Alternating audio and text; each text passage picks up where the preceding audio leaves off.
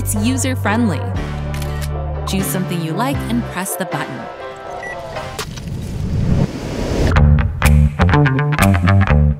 Wow, isn't that great? I've been told this company is done by one person. You know it's commercial, everything always looks wonderful and the machine is easy to use, whatever creates looks fantastic. I'm not sure about that, so I'm gonna test it out. My boss might be upset, but this is what I do for you guys. So I'm gonna give you a guideline right off the bat if you're new here. So every time you make a laser projects, you need to make a plan and break them down into chunks. For example, pattern or picture designing, materials preparing, laser parameters testing, and the most important, laser engraving cutting and assembling.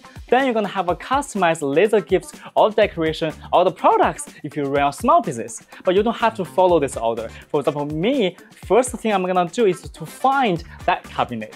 Okay, I'm like Indiana Jones right now. Where is it? Oh, there you go. Just put stuff away. Um, so this is the cabinet, the original one we shot for the commercial before, and luckily we still keep it. And right now I'm gonna take this one to my room and renovate one more time. Alright. It actually doesn't look that bad, it's just quite plain, not exciting enough, right? So maybe I can make it more excited. Does it make sense? Anyway, so I'm gonna measure up the size of each drawer. As you can see, they have like five drawers. Okay, let's jump into the pattern designing. Pattern designing. Yeah, that's a tough task.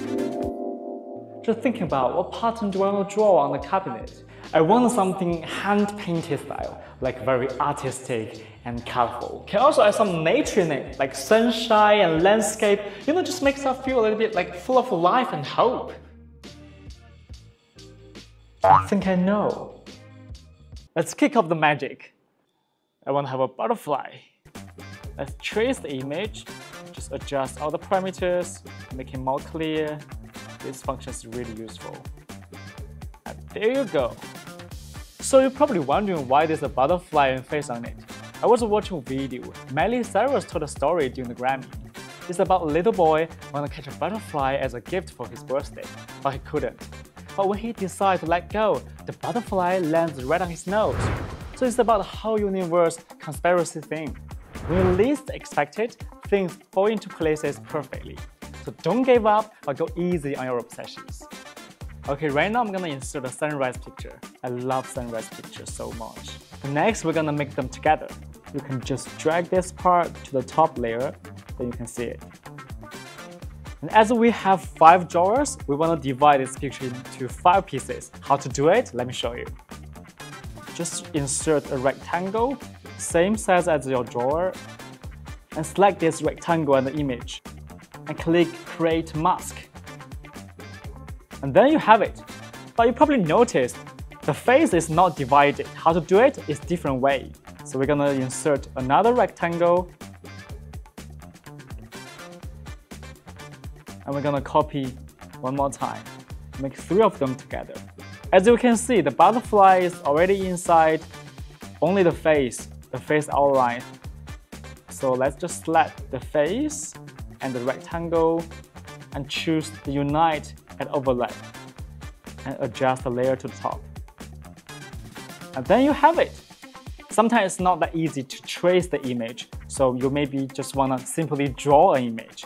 How to do it? Let's insert a rectangle and then you can just make it a similar one.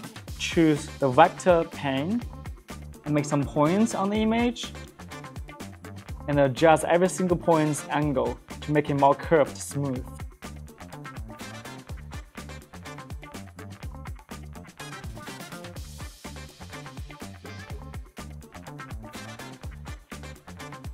Done! This is what I designed for you guys. And now let's go to laser make them. Okay, I got all the materials ready, including different colors of paints, 3mm thickness of plywood, and different acrylic. Uh, because I'm gonna see which color is better for the butterfly and the face.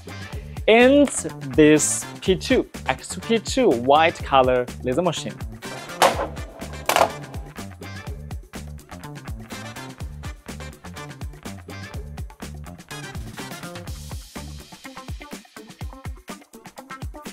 So I'm gonna do the painting now and I found a very interesting place.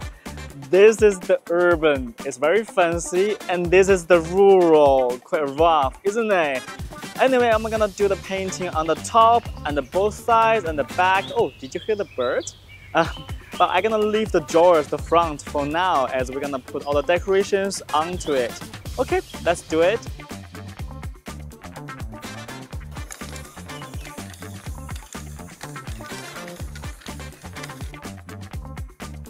Alright, all the decoration pieces are here and we're gonna paint the landscape, I mean the plywood, but we're gonna keep the acrylic originally and we're gonna assemble them later on.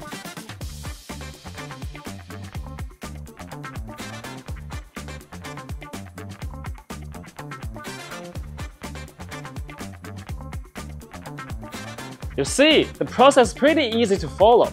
It is believable. And if I can do it, you can do it too. And one more thing, don't forget to subscribe to us. Before, after, and let us know how to like it down below. Yep, and I hope everyone will find your own butterfly. See you next time!